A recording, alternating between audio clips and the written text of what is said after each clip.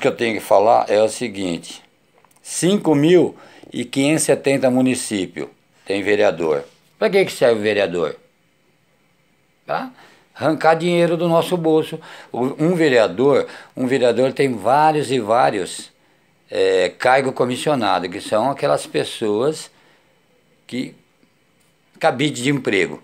Então, um vereador tem 15, 20 cabides de emprego. Tem motorista, tem assessor, não sei das coisas, um monte de assessor, de porra nenhuma, né?